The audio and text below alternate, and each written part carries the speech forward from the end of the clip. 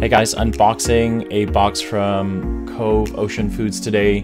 We had Desiree Dupuis on, who is the VP of Sales and Marketing for Cascadia Seaweed and Kove Ocean Foods, and she was kind enough to send me a box of product. Some really amazing seaweed products here, grown sustainably um, in British Columbia.